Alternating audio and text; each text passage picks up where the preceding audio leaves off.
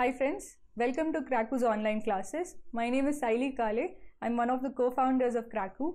Uh, we uh, help thousands of students every year to crack CAT. I'm, a uh, I'm an alumnus of IIM Ahmedabad and uh, last year I'm very proud to say that we helped 65 students get over 99 percentile. So these online classes are our effort to help our students cross the 99 percentile threshold. So we hope that through these uh, classrooms, you will get all the tools necessary to cross that particular threshold. In this uh, online class, we are going to discuss logical representation of uh, information. Uh, LRs are uh, getting harder with each CAT. Generally, most students find it very difficult to decode the information given in LRs. Generally, what happens is that if you understand the LR, you represent the information in the LR and write it down, then answering the question becomes trivially easy. But the crucial step that is understanding the LR, representing it in the right format that is suitable for answering the information, that step is generally the hardest step. Uh, this representation can take many forms. It can be in the form of a Venn diagram, a table, a uh, roots or networks chart, or a, uh, uh, as in the case of this uh, uh, video, in the form of logical expressions. So today we are going to discuss how to represent information as logical expressions. We do this so that we can distill down information into more manageable bits. Uh, when you're given with like a huge passage of information, it's difficult to keep all of that into your head at the same time. Usually you can't keep that much information in your head. But because we are so used to solving quant questions, uh, if we write these down as expressions, we can work on them and then solve the question. In quant, what do you do? You read the problem. As you read the problem, you write down the expression that the problem translates to. You solve those equations and you get to the answer. Similarly, over here, as you read the problem, write down the logical expressions. Once you have the logical expressions, you can solve them to find the answer. It makes LR problems far more manageable. So now let's take a look at the basic elements of logical expressions. So let's begin with the very basics as far as logical expressions are concerned. A statement is basically an event or a state of being. For example, B is wearing a blue shirt or A is uh, part of the team. So we represent these as like capital letters, like capital A represents event A or capital B represents uh, event B. So whenever we say that A has occurred, we say that uh, uh, event A has occurred, we say the truth value of A is uh, true. So truth value is basically a uh, value assigned to say that whether an event has occurred or not. Uh, so if it is true, it means that the event has occurred. If it is false, that it means that that event has not occurred. So if uh, the event is A is part of the team, then the truth value of A being true means A is part of the team. And if it is false, it means that A is not part of the team. Therefore, truth values are a bit confusing. We'll understand them better if we apply them in uh, problems. So let's keep that for now and we'll see that later. Now let's take a look at the second most important basic element as far as logical expressions are concerned. So the most basic uh, logical operand is the negation operand. So negation is uh, written as the tilde sign. So uh, say suppose the statement is A, uh, negation of A or not A represents that uh, the we invert the truth value of A. So suppose uh, A is that I went to church.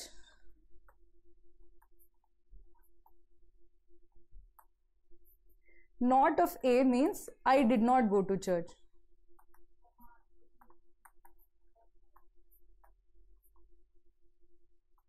Similarly, if event P is that uh, X is part of the team, not P means that X is not part of the team.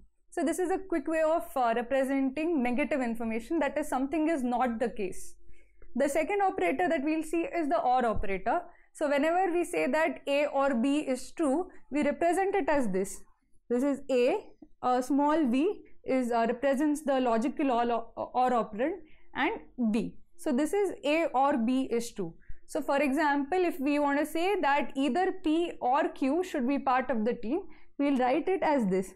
P or Q is true. So one of these two statements has to be true.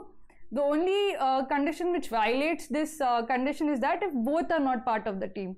So this uh, combined thing will be true if P is true or if Q is true or if both are true.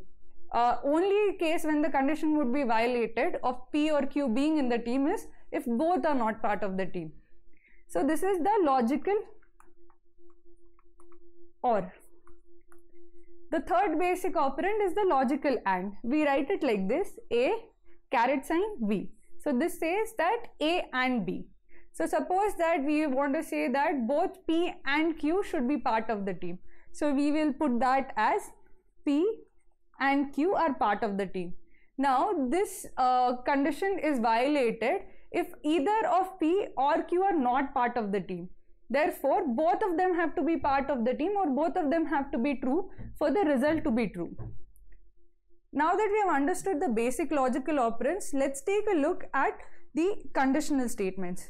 So these are the statements that you generally find in LR sets like team selection where you say that if A is part of the team, then B should also be part of the team. So the general format is if A, then B. So this means that A implies B.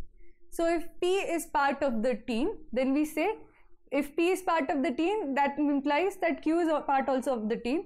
Then we say P implies Q.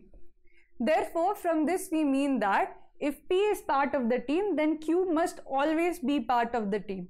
However, this does not mean that if Q is part of the team, then P should be part of the team. This does not imply that Q implies P. These two are two different statements. However, we can say from this that if P implies Q, then negation of Q implies negation of P. That is, if Q is not part of the team, we can infer that P is not part of the team. Uh, let us take a simple example to understand this. Suppose if we say that if it rains, uh, if it rains heavily, then the schools will be closed. So from this we can say that if it rains heavily, the schools will be closed. But if the schools are closed, we cannot say that it has rained heavily. Schools can be closed for other reasons also. So this implication is only in one direction. However, we can say that if the school is open, we can say for sure that it has not rained heavily. So the negative implication on the other side is true but the uh, positive implication from schools close to heavy rains will not be inferable. So this is a single uh, simple conditional statement. A biconditional statement is written as if and only if. So if we say that uh, A, uh, if uh, A will, if A, uh, so if we say that B will happen if and only if A happens, then it is a biconditional statement. So it is written as follows. So A double-sided arrow B.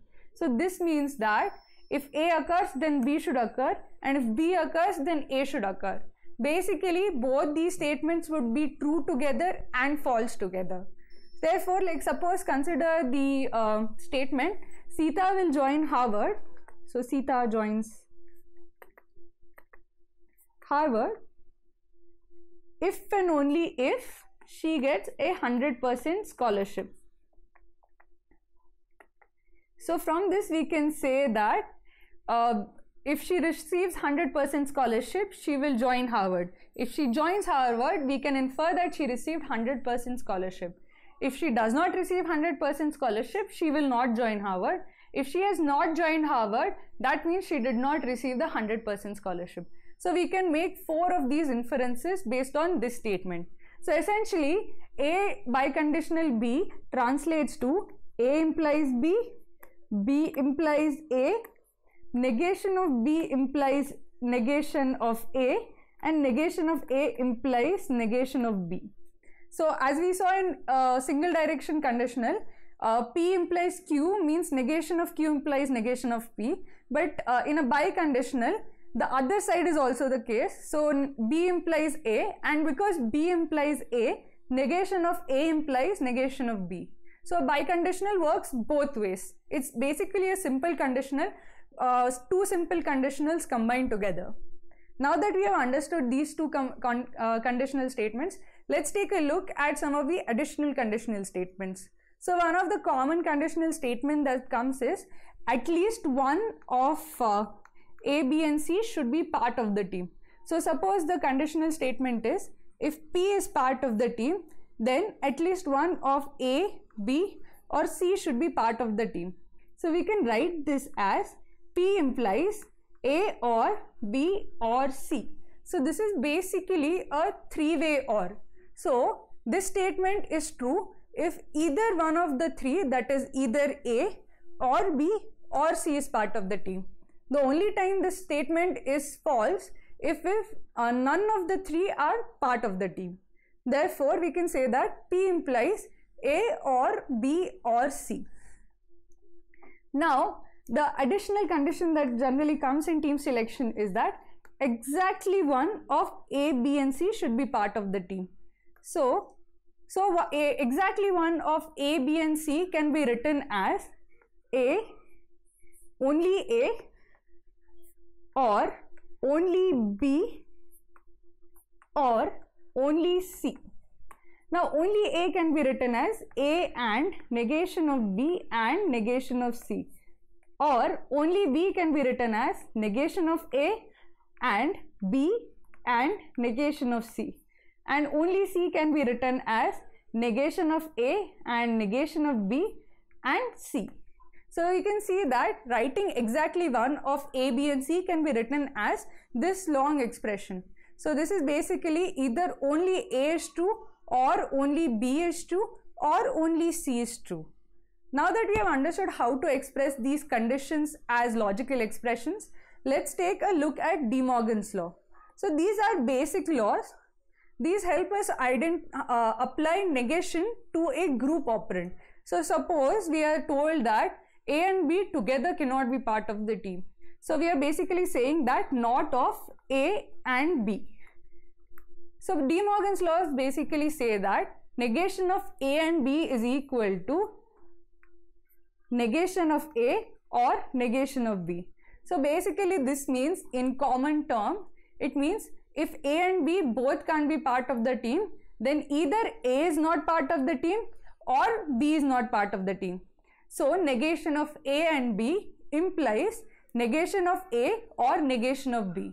So essentially when you apply negation to an AND operand, you put the negations inside and switch the AND operand to an OR operand. On the other hand, negation of A or B can be written as negation of A and negation of B. Uh, so similar thing applies. Here we put the negations inside and switch the OR operator to an AND operator. So if we say that neither A nor B should be part of the team, we say not of A and not of B. That is both cannot be part of the team. Now that we have understood these operands, let's take a, uh, look at a problem on team selection. Let us apply what we have learned about logical expressions with the help of a uh, LR set on team selection. Consider the following LR set. K, L, M, N, P, Q, R, S, U and W are the only 10 members in a department. There is a proposal to form a team from within the members of the department subject to the following conditions. So there are a bunch of conditions given.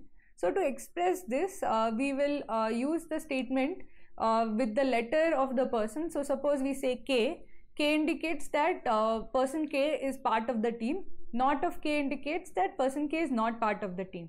So let us take a look at the conditions and write them down as logical expressions. So the first condition is a team must include exactly one among P, R and S. So we saw the way to represent exactly one.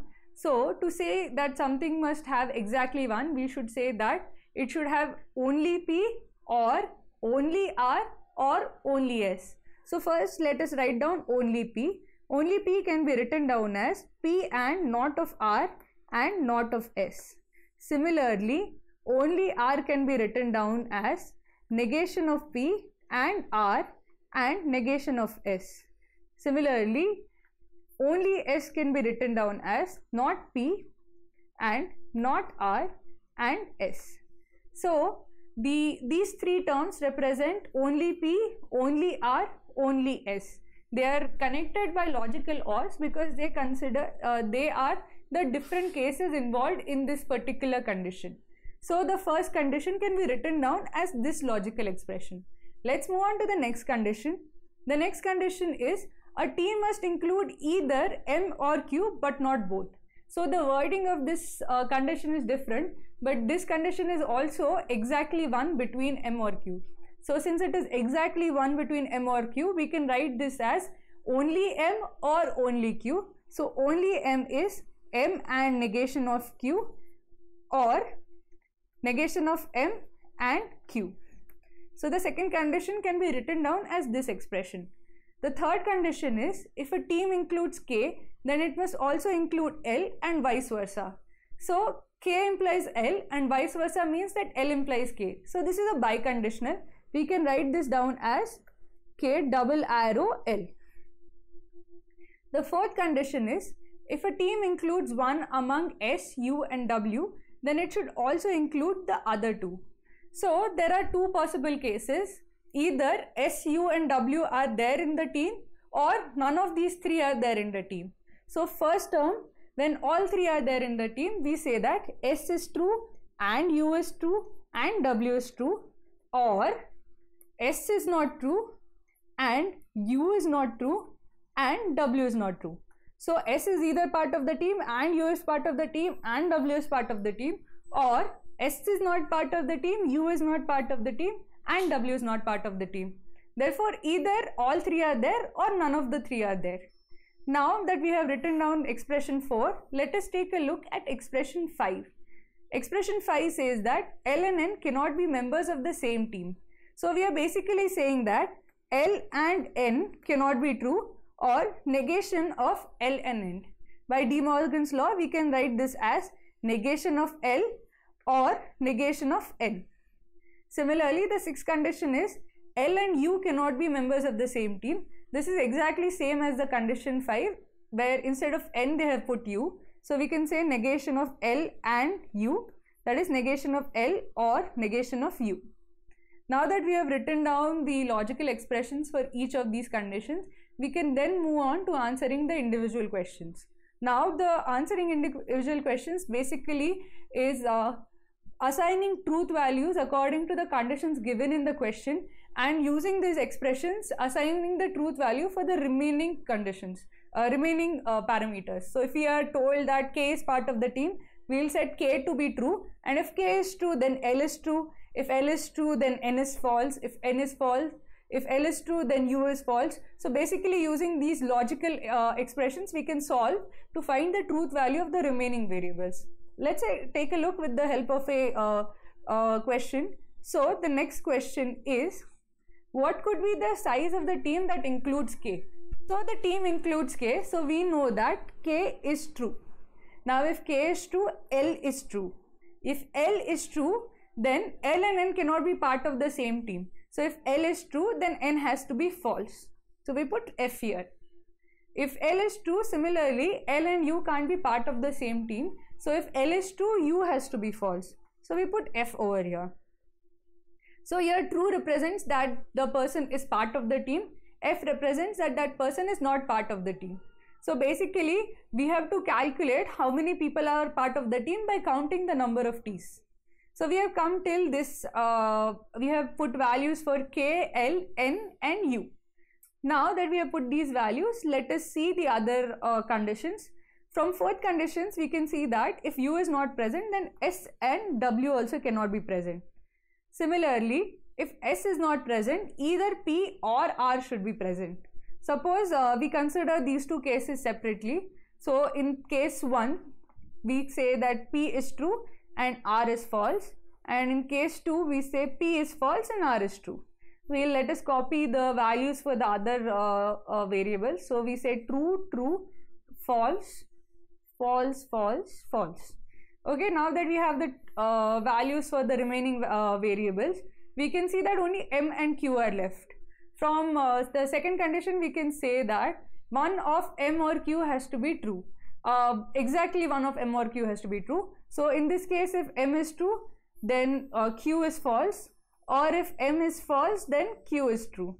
Similarly, if M is true, Q is false or if M is false, Q is true. So we get that uh, there are four cases possible. This case has two cases, sub cases and this case has two sub cases. So total of four sub cases are possible. Now, what is the size of the team in each case? So to calculate the size of the team, we basically have to count the number of T's in each case. Uh, T represents 2, that is that person is part of the team. So let us calculate uh, the number of people. So there is case 1A, 1B, 2A and 2B. So 1A, uh, let us count the number of people in the team. So the number of people in the team is 1, 2, 3, 4 and that is it. So there are 4 people in 1A case. Similarly for 1B we get 1, 2, this is a miss, 3, 4. Again we get 4 people. 2A, let us count the number of people, 1, 2, 3 and 4. So there are 4 people in 2A and in 2B there is 1, 2, there is, these are not counted, 3 and 4. So there are 4 people in 2B. So in all the 4 cases the size of the team that includes K is 4. Therefore, a team uh, including K can be formed in such a way that it has exactly 4 members. So the answer to this question is answer is 4. Now that we have solved this question using the logical expressions, let's take a look at the next question. So the next question is, in how many ways can a team be constituted so that the team includes n? So now here the, uh, we can say that n is part of the team, so n is true. Now since n is true, uh, one of L or n has to be false, so L has to be false. From 3 we can say that since L is false, K is false. Now, since uh, we have uh, taken care of condition 1, uh, condition 3 and condition 5. Now if N is false and L is false, if L is false, condition 6 is met. Now U can be either true or false. So let us consider these cases separately. In the first case, we will consider U to be true. Now this condition has been done. If U is true, S and W are also true. Now if S is true, then P and R are false and one of M and Q is true. So they are false true, true false. So these are the two cases corresponding to one. So there is one A, one B uh, case uh, involved in this configuration. Now let us consider the case when U is false. So we'll copy over the other numbers. Uh, we know that uh, n is part of the team. If n is part of the team, L is not part of the team and K is not part of the team. So this is case 2. This is the basic information that we know. Now if U is false, S and W are also false. Now one of P and R should be true. So let us copy over these uh, values. So F, F, T, F, F, F. So in the first case, we'll consider P is true and R is false. And in the uh, next case, we'll consider P is false and R is true. So now again we are left with M and Q. We'll consider them as true or false, false true. And again true or false and false true. So we have seen that there are two sub possibilities in each of the three cases. So we have three cases into two possibilities for M and Q. So the total number of cases that exist, that is like we'll get 1A, 1B, 2A, 2B, 3A, 3B. So the total number of cases are 6 cases. Therefore, the number of ways a team can be made such that the team includes n is 6 ways. So the answer to this question is 6. Now let's move on to the next question what would be the size of the largest possible team? Now here we are not given any uh, variable that can be set to true. So we have to think about how we should go about answering this.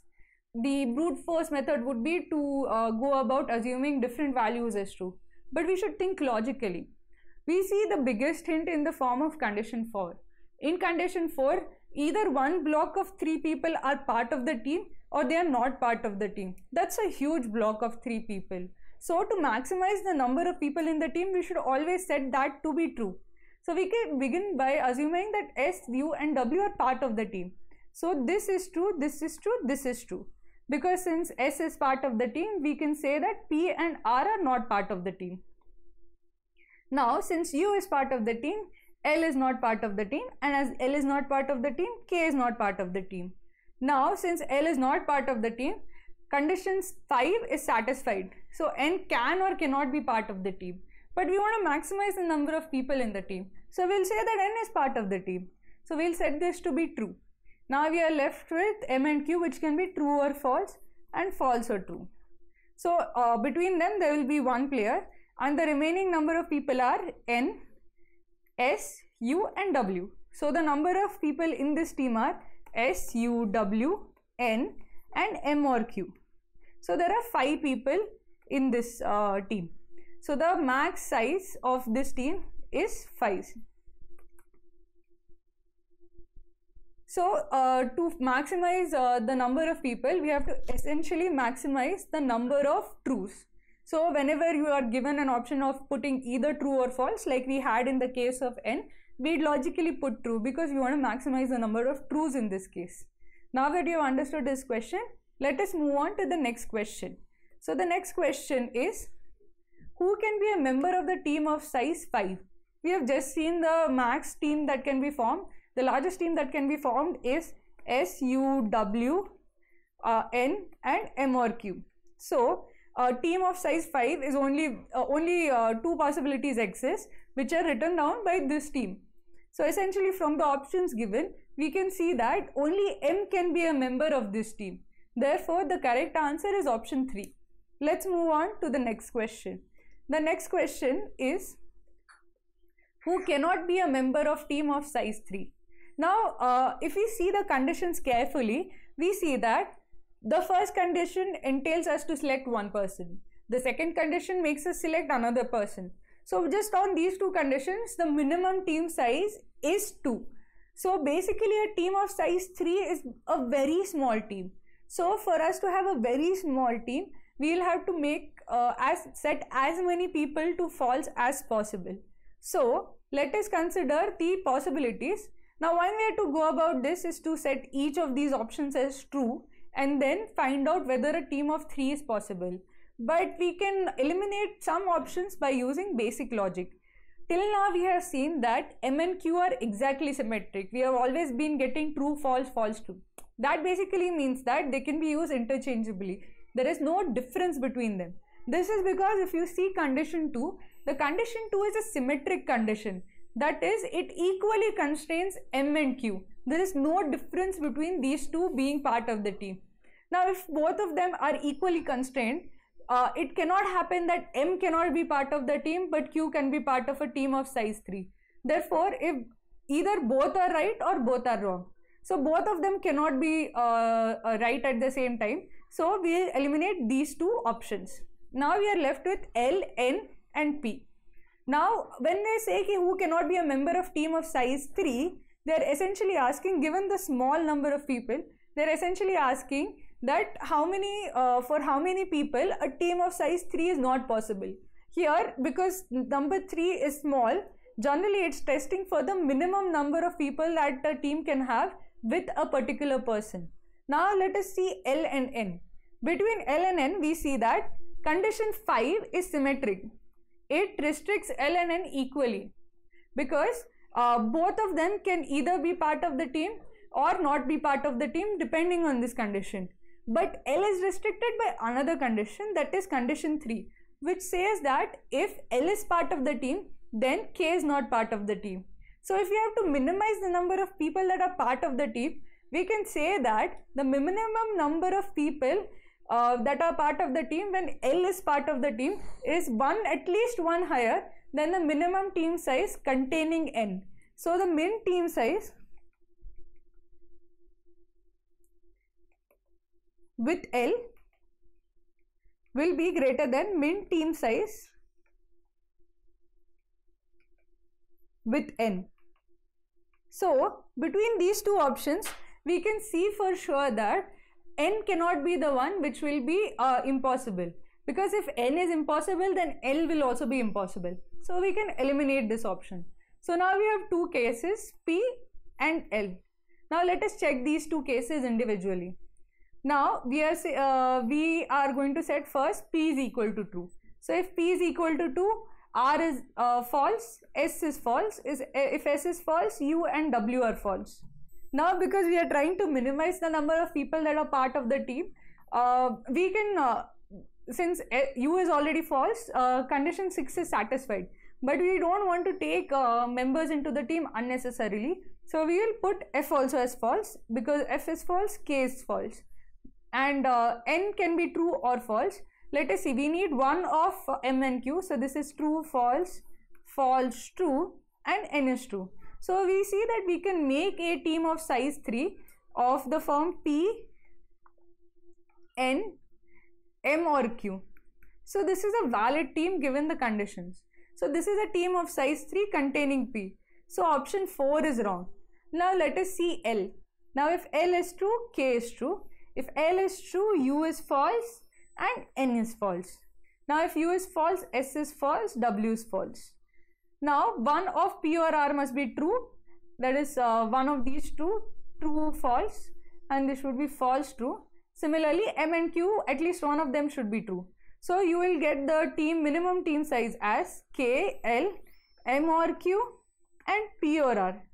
So we see that the minimum team that contains L is 4. We cannot form a team of size 3 containing L. So L cannot be a member of team of size 3. So the correct answer is option 1. Now that we have solved this team selection problem using logical expressions, let us see how we can use logical expressions on arrangement problems. Generally, it's uh, less applicable in arrangement problems, but a particular case where it comes to be handy is when we have to represent negative information.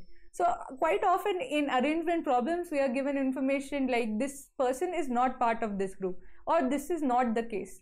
In such cases, what do we do? We represent that information as not of A.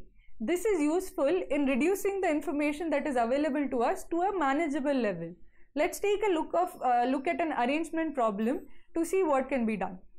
So consider the following problem.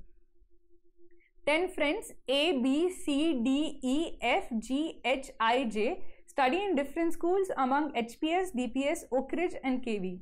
They study in different standards among 7th, 8th, 9th and 10th. The number of friends in each school and are distinct and there is at least one friend in each school. The number of friends in each standard are different and there is at least one friend in each standard. So basically it's saying there are 10 people and uh, there are four different integers that sum up to 10. Now since there are four different integers and the min integer is 1, we can say that these integers will have to be 1, 2, 3 and 4 because there cannot be any uh, uh, uh, set of natural numbers uh, uh, such that the sum of those natural numbers is equal to 10 other than these four. So we know that these are the four uh, number of people in each of the different standards and in each of the different schools. Now that we have decoded this information, there are uh, there is additional information given. Uh, this additional information is that maximum number of friends study in HPS. So essentially four people are there in HPS and maximum number of friends are in 8th standard. So there are four people in 8th standard. Both B and G study in DPS and in 10th standard. Except B and G, no two friends are studying in the same school and in the same standard. D who studies in KV is in 9th standard C and E are in the same school while A and J are in the same standard. H and I are neither studying in the same school nor same standard. H studies in 7th standard and F studies in KV. B studies in the same school as J and studies in the same standard as E. So a lot of information is given. Let's begin by first making a table of the form, uh, this form. So here we said what the schools are. The schools are HPS, DPS, Oak Ridge and KV in this column person we'll write down which person are definitely there in these particular schools. Other info here we'll put down who is not there and the number of people are there or not there in the school. Similarly we'll make a table for standard as shown in the screen. So uh, let us put down the information that we have been given. Firstly i've been given that b and g are there in dps and 10 standard. So in dps we'll put bg similarly in 10 standard we'll put bg Another thing that we have been given is that except BG, no two friends are studying in the same school and in the same standard. D is in KV, so this is D, and is in 9th standard. C and E are in the same school and A and J, are in the same standard.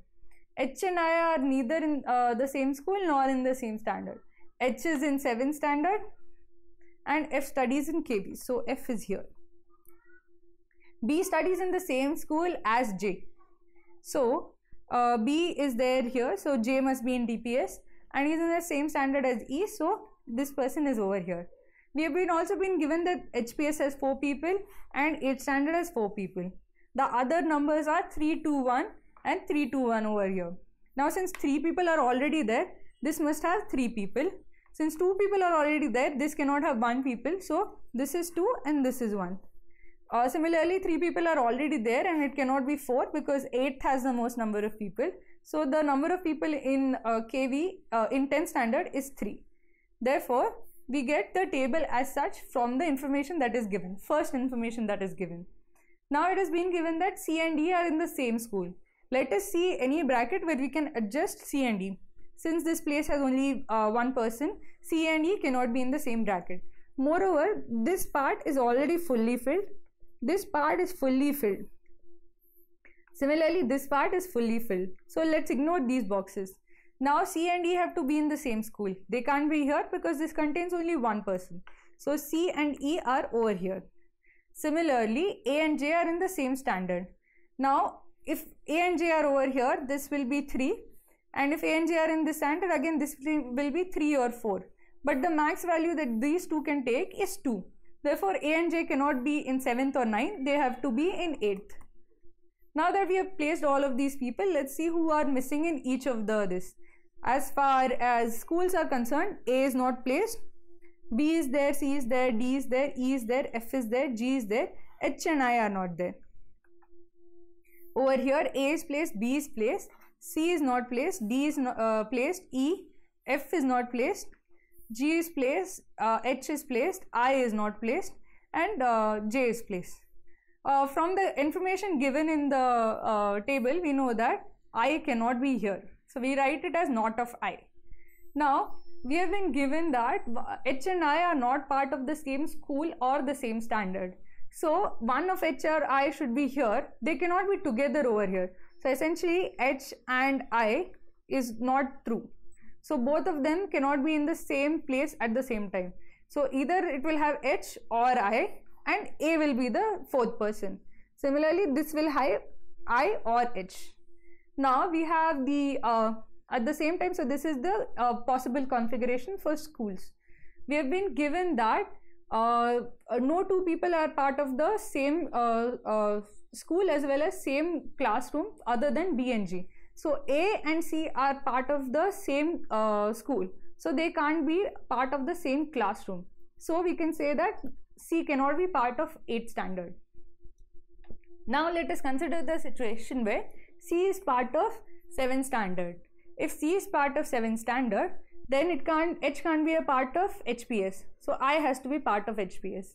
If I is part of HPS, then H has to be Oak Ridge. Now the remaining people over here will be adjusted here, that is F and I. But we see a uh, contradiction over here. Here both A and I are part of the same standard as well as the same school. So this cannot be.